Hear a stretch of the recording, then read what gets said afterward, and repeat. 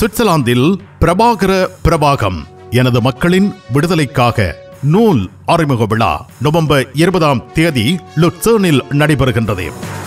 தமிழீழ தேசிய தலைவர் மேதகு வேலுப்பிள்ளை பிரபாகரன் அவர்கள் மூன்று தசாப்தங்களாக வழங்கிய செவ்விகள் உரைகள் அறிக்கைகள் கடிதங்கள் ஆசை செய்திகள் ஆகியவற்றுடன் நிழல் படங்களும் தொகுக்கப்பட்டு வெளியிடப்படும் நூல். இது ஒரு ஆவணத் தொகுப்பு. அனைவரையும் அன்போடு அழைக்கின்றார்கள் விழா ஏற்பாட்டாளர்கள்.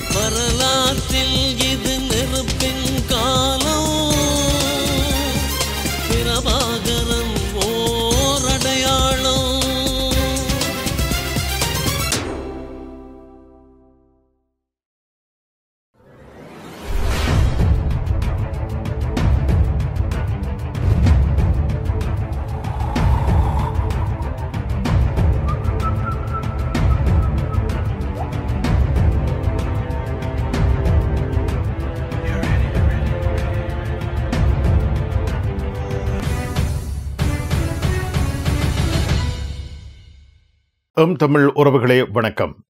பிரான்ஸ் செய்திகளுக்காக வணக்கம் அருண் சண்முலிங்கம் அவர்களே. வணக்கம் எஸ் கே ராஜன் அவர்களே. பிரான்ஸ் நாட்டில் இருந்து படைகள் உக்ரைன் போருக்காக ருமேனியாவுக்கு அனுப்பி வைக்கப்பட்டிருக்கின்றன. இந்த சந்தர்ப்பத்தில் ருமேனியாவில் பிரெஞ்சு படைவீரர் ஒருவரின் சடலம் கண்டெடுக்கப்பட்டிருக்கிறது. இது பற்றிய மேலதிக விவரங்கள் எவை? சுமார் இரண்டாயிரம் படை வீரர்கள் பிரான்சில் இருந்து ருமேனியா நோக்கி அதாவது ருமேனியாவில் அமைந்திருக்கும் சின்சு ராணுவ தளத்துக்கு அஹ், அனுப்பப்பட்டிருந்தார்கள். உக்ரைன் ரஷ்ய போரின் பின்பு அவர்கள் அங்கு அனுப்பப்பட்டிருந்தார்கள். அங்கு அஹ், நேட்டோ நாடான ருமேனியாவிற்கு ருமேனியாவுக்கு தங்க பாதுகாப்பு அளிப்பதன் நோக்கம் நோக்கமாகவே அது இருந்தது. அதை விட நேட்டோ நாடுகள் இப்பொழுது உக்ரேனிய எல்லையில் உள்ள நேட்டோ நாடுகளை நாடுகளில் இப்பொழுது தங்களது படைகளை நகர்த்தி கொண்டு வரும் பட்சத்தில் பிரெஞ்சு படையினரும் இப்பொழுது அஹ், ருமேனியாவில் நிலை கொண்டுள்ளார்கள். சின்சு ராணுவ தளத்தில் அவர்களுடைய படைகள் அங்கு நிலை கொண்டிருக்கின்றன. இதேவேளை நாற்பத்தி ஒரு வயதுடைய பிரெஞ்சு ராணுவ வீரர் ஒருவர் அஹ், ருமேனியாவில் உள்ள விடுதி ஒன்றில் கழுத்தில் கத்தரிக்கோளுடன் கத்தரிக்கோளால் அஹ், குத்தப்பட்டு கொல்ல கொல்லப்பட்டு கிடந்ததாக தெரிவிக்கப்படுகின்றது. இவரை இவரின் உடலை கைப்பற்றிய ருமேனிய போலீசார் இந்த தகவலை வெளியிட்டுள்ளனர். இதை பற்றிய விசாரணைகள் இப்பொழுது நடந்து கொண்டிருக்கின்றன. இந்த ராணுவ வீரர் அங்கு மூன்று நான்கு வேறு ராணுவ வீரர்களுடன் அங்கு தங்கி இருந்ததாகவும் ஆனால் இவரது அறை திறக்கப்படாமல் இருந்ததாகவும் எப்படி இவரது கொலை நடந்தது என்ன நடந்தது என்பது பற்றி இப்பொழுது ருமேனிய போலீசார் விசாரணைகளை மேற்கொண்டு வருவதாகவும் தெரிய வருகின்றது ருமேனியாவில் நிலை கொண்டிருக்கும் பிரெஞ்சு ராணுவத்தினர் மத்தியில் இந்த கொலை பற்றி இப்பொழுது விவாதங்கள் நடைபெற்றுக் கொண்டு வருவதாகவும் இதற்காக இந்த கொலை நடைபெற்றது என்பது பற்றியான விசாரணைகள் இப்பொழுது இரண்டு பக்கத்தாலும் அதாவது பிரெஞ்சு ராணுவ துறையினராலும் ருமேனிய காவல் படையினராலும் மேற்கொள்ளப்பட்டு வருவதாக தெரிய வருகிறது. பிரான்ஸ் நாட்டின் பொதுச் சேவைகளில் மக்களுக்கு அதிக நம்பிக்கை இல்லை. அது தொடர்பாக மக்கள் அதிருப்தி தெரிவித்திருக்கின்றார்கள். இது பற்றிய மேலதிக விவரங்கள் இப்பொழுது. பிரான்சில் பொது சேவைகள் பற்றி மக்களிடம் கருத்து கூறப்பட்டது. இந்த இதில் இதை பற்றி ஒரு கருத்து கணிப்பும் இப்பொழுது நடைபெற்றிருக்கின்றது. இப்போ பத்திரிகை லுஜூனால் திமோஸ் பத்திரிகைக்காக மேற்கொள்- மேற்கொண்ட கருத்து கணிப்பில் பிரெஞ்சு மக்களில் அறுபத்தி எட்டு வீதமானவர்கள் பிரான்ஸ் பொது சேவைகள் மோசமாக இருப்பதாக தெரிவித்துள்ளனர். அதாவது அந்த மோசமான நிலைகள் இருப்பதாக தெரிய வருகின்றது. மந்தமாக இயங்கிக் கொண்டிருப்பதாகவும் தெரிய தெரிவிக்கின்றனர் குறிப்பாக பொது சேவைகளை நாடி செல்பவர்களுக்கு அவர்களுக்கான முன்பதிவுகள் அவர்கள் அவர்களை சந்திப்பதற்கான பொது சேவையாளர்களை சந்திப்பதற்கான கால அவகாசங்கள் அவர்கள் பின்தள்ளி போடுவதாகவும் மோசமான நிலையில் இருப்பதாகவும் மக்கள் வருத்தம் தெரிவித்துள்ளனர். இந்த பொது சேவைகள் திணைக்களத்தை அரசாங்கம் கணக்கில் எடுத்து மக்களுக்கு சாதகமான முடிவுகளை அவர்கள் அறிவிக்க வேண்டும் என்றும் இதை பற்றிய விசாரணைகளை மேற்கொண்டு இந்த பொது சேவைகளின் மந்த நிலைகளை மாற்றி அமைக்க வேண்டும் என்றும் மக்கள் கேட்டுக்கொண்டிருப்பதாக இப்போ கருத்து கணிப்பு நிறுவனம் யுனால் திமோஸ் பத்திரிகைக்கு தெரிவித்துள்ளது. நகை வியாபாரத்தில் ராஜா எம்பி ராஜா ஜுவல்லரி. நங்கியர் நெஞ்சம் தொடும் நாகரிக நகைகள் நவீன வடிவங்களில் தேர்ந்தெடுக்க திருப்தி தரும் நகை மாளிகை எம்பி ராஜா ஜுவல்லரி. காண்பிக்கும் வடிவங்களில் கவர்ச்சியான நகைகள் தயாரித்து வழங்குவோர் எம்பி ராஜா ஜுவல்லரி நான்கு ரூபே டோனே லா ஷபேல் கணக்க பொருட்கள் கொஞ்ச காசு. எங்க கேக்குறீங்களோ பரிசுல காஸ்லே கோனே ஸ்கோராவுக்கு பக்கத்துல பெரிய தமிழ் கடை. ட்ரோபிக்கல் மார்க்கெட் மலிவோ மலிவு. மங்கையர் மனம் விரும்புவது ட்ரோபிக்கல் மார்க்கெட் வாங்கோ வாங்கிட்டு போங்கோ. ஐரோப்பிய நாடுகள் பலவற்றில் நெடுஞ்சாலைகளில் வேக கட்டுப்பாடு கொண்டுவரப்பட்டிருக்கிறது அதிவேக பாதைகளில் முன்னர் இருந்ததை விட தற்பொழுது வேகம் குறைக்கப்பட்டு வருகிறது. அந்த வகையில் பிரான்ஸ் நாட்டின் நெடுஞ்சாலைகளிலும் வாகனங்கள் செல்லும் வேக கட்டுப்பாடு இப்பொழுது நடைமுறைக்கு கொண்டு வரப்பட்டிருக்கிறது இது பற்றிய மேலதிக விவரங்கள் இப்பொழுது. பிரான்சில் நெடுஞ்சாலைகளில் பயணிப்பதற்கு மணிக்கு நூற்றி முப்பது கிலோமீட்டர் வேகத்தில் நாங்கள் வாகனங்களை செலுத்தலாம்.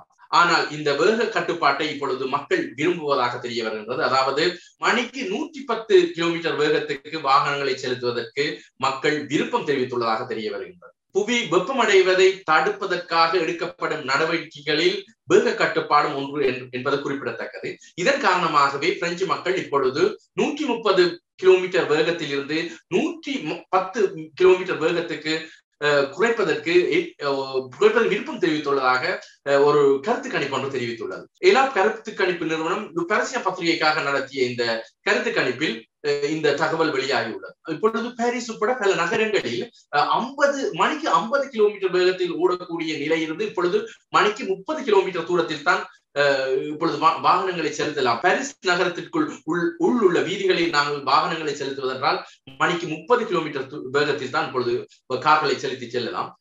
அதன்படி வழி மாசடைதல் புவி வெப்பமடைதல் ஆகியவற்றின் காரணமாக மக்கள் இப்பொழுது வேக குறைப்பை விரும்புகின்றார்கள் என்று தெரிவிக்கப்பட்டுள்ளது.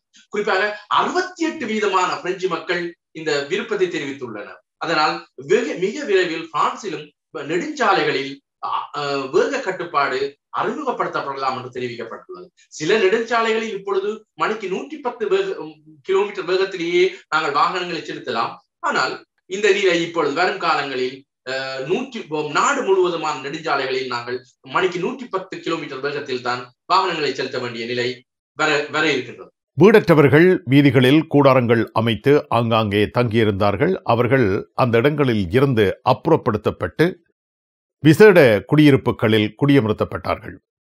இவ்வாறு வீடற்றவர்கள் குடியிருந்த குடியிருப்பு ஒன்றில் தீ விபத்து ஏற்பட்டுள்ளது. இது பற்றிய மேலதிக தகவல்கள் இப்பொழுது. பிரான்சில் குளிர்காலம் ஆரம்பித்தாலே இங்கு வீடு இல்லாதவர்களின் பிரச்சனை ஆரம்பிக்கும். வீடு இல்லாதவர்களின் பிரச்சனை என்றால் அவர்களை அவர்களை குடியேற்றி அவர்களுக்கான அவர்களை ஒரு விடுதிகளிலோ அல்லது வேறு இடங்களிலோ அவர்களை பாதுகாப்பான இடங்களில் தங்க வைக்க வேண்டும் என்பது பிரான்சில் உள்ள ஒரு விதியாகும். அதன்படி இப்பொழுது கூடாரங்களில் தங்கி இருந்தவர்களை எல்லாம் விடுதிகளில் இப்பொழுது போலீசார் அனுமதி அனுமதித்திருக்கின்றார்கள் அல்லது சமூக சேவை நிறுவனங்களிடம் ஒப்படைக்கப்பட்டு அவர்கள் விடுதிகளில் விடுதிகளில் அனுமதிக்கப்பட்டிருக்கிறார்கள் இப்படி அனு அனுமதிக்கப்பட்டவர்களில் வீடில்லாதவர்கள் குடியிருந்த ஒரு விடுதியில் ஏற்பட்ட தீ விபத்தொன்றில் பதினோரு பேர் காயமடைந்துள்ளார் லீல் பகுதியில் நடைபெற்ற இந்த தீ விபத்தில் பதினோரு பேர் காயமடைந்ததாகவும் அங்கு தீயணைப்படையினர் இப்பொழுது அந்த அந்த இடத்தில் இருந்து அங்கிருந்தவர்களை இப்பொழுது வெளியேற்றி அவர்களை வேறு விடுதிகளுக்கு அனுப்பியிருப்பதாகவும் தெரிவிக்கப்பட்டுள்ளது. வீடில்லாதவர்களுக்கான இந்த விடுதியில் ஏற்பட்ட தீ விபத்து நாசகார வேலையாக இருக்கலாம் அல்லது தொழில்நுட்ப பிரச்சனைகளால் ஏற்பட்ட அதாவது மின்சாரம் மற்றும் வெவ்வேறு விதமான தொழில்நுட்ப பிரச்சனைகளால் ஏற்பட்ட தீ விபத்தாக இருக்கலாம் அல்லது இனத்துவத்தால் ஏற்பட்ட தீ விபத்தாக இருக்கலாம் என்பது பற்றிய விசாரணைகள் இப்பொழுது நடைபெற்றுக் கொண்டிருக்கின்றன. லீல் பிரான்சின் வடபகுதி வடபகுதியில் தான் இப்பொழுது இனத்துவேசங்கள் வெளிநாட்டவர்களுக்கு எதிரான நடவடிக்கைகள் அங்கு அதிகரித்துள்ளதும் குறிப்பிடத்தக்கது. இதனால் பல வழிகளில் இப்பொழுது விசாரணைகள் இங்கு நடைபெற்று வருகின்றன. மிக்க நன்றி அருண் சண்முலிங்கம் அவர்களே. மீண்டும் சந்திப்போம். வணக்கம். நன்றி வணக்கம் எஸ் கே ராஜன் அவர்களே. மீண்டும் சந்திப்போம்.